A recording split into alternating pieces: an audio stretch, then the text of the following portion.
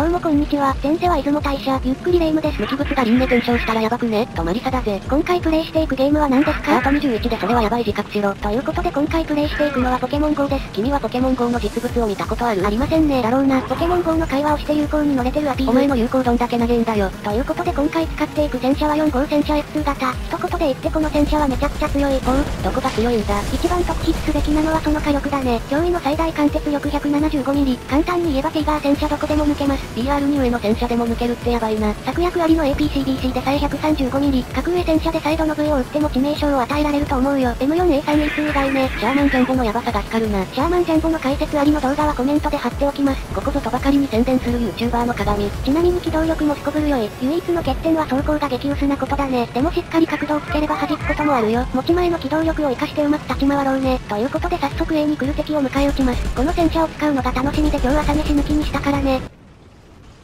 ごめん今の話の関係性が見つからないんだけど。ちょっと待ってねマリサ。私も今探すから。絶対関係ないやつだこれ。ということでまずはあの M10 を。ファイヤー、もう猫の火力、ありがとうって感じ。さ検定合格おめでとう。何それ怖い。ちなみに私英検3級持ってます。ギリギリ学歴書に書けない級だな。もっと嬉しくなる呼び方なかったのってかさっきから全然敵が来なくなったんだけど、何これバグすぐバグを疑うのやめろ。おかしなことがあったらとりあえずバグを疑えってバッチャが言ってた。バッチャは IT プログラマーか何かまあそのバグっていうのは虫のことなんだけどね。そうだとしたら昆虫とバッチリすぎるだろ。奥の岩陰に3突発見。これは狙えるかな？ファイヤー、今のうまく貫通しないのかよ。情報心への期待が強すぎる。諦めて別のところに行きます。それが妥当な判断だろうな。まあここはドイツ戦車の聖地。ドイツに砂漠があるかどうかとりあえず調べろ。え、ここ砂浜じゃないの砂浜見たことある湖を見たことない。日本は四方八方海だはどんだけローカル世界に行ってんだよ。私自分の家から出たことありません。影は涼しくていいな。パレットなってしまえ。蒸し暑い中ゲームプレイしているレイムの恨みは重い。次は後方にいる3号突撃砲。通称、メガシャーク。お前の言う通称一度も聞いたことないんだけど、おやりに行きます。待ってろビッグシャーク。もうめちゃくちゃじゃねえか。ここぐらいでいいかな。可愛いお尻が丸見えですよ。この貫徹力を舐めるでないぞ。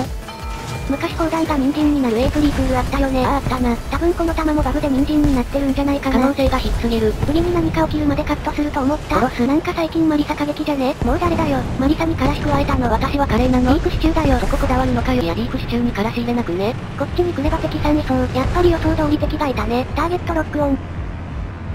ターゲットロスト。新しいスポットシステムかな？ここをちょっとカットしたいんですけどいいですか？から動画のカットは許可制になったの？とここで突然ですが以前作ったけど使うタイミングなってお蔵入りしてたマットをどうぞ。正直なのは偉いが恥を知れ。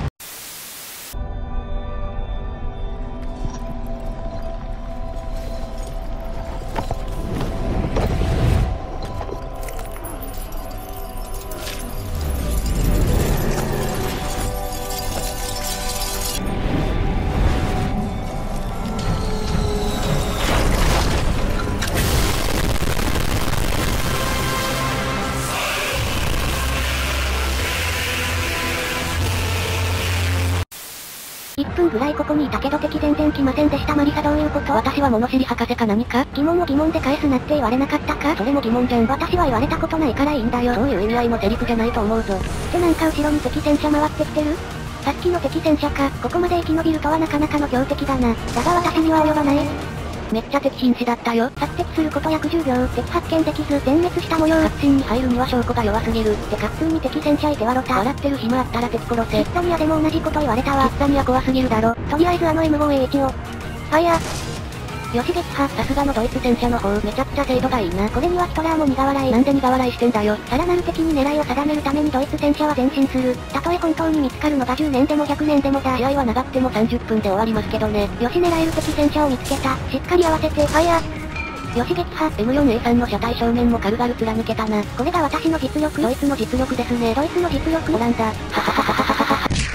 なんで私殴られたの？あまりにもくだらなかったから。お前も乗ってきただろうか？ここにいても敵が来なさそうなので移動しますね。まあそれがいいだろうな。前方に敵がいるみたい。全く同じ4号戦車 F2 型だね。ファイヤー。今の結構危なかった。敵こっち狙ってたしな。ドッペルゲンガーは一人で十分なんだよ全く。お前も本物じゃねえのかよ。今はここに泊まって様子見しようかな。おい敵のネームタグが出てきたぞ。ネームテッド？ネームタグだよ誰だそいつ。ごめん私、帰国子女だからそう言ってもらわないとわからないよ。帰国子女でこのレベルなら脳に重大な欠陥があるだろ。めっちゃド直球の悪口で悲しい。それにしてもあの駆逐戦車一切こっちに気づいてる感じしないな。アタックチャンス。毎週日曜午後1時25分放送。テレビ局の回し物かなとりあえずエンジンを破壊したよ。砲塔が回らない駆逐戦車にとっては致命的すぎるな。容赦なくいただきます。ファイヤー。文字通り容赦なくて草。敵が出てこないか監視中。お、3号戦車が出てきたな。さっきの駆逐戦車を助けに来たのかなそうだとしたら遅すぎるだろ。これは一撃でいけたな。チャンスがあるなら焦る心配はな。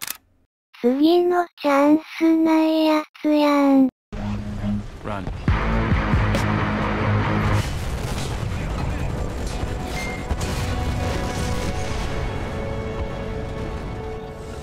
ということで今回の動画はここまでです。何だっけよ。やめて。ではご視聴ありがとうございました。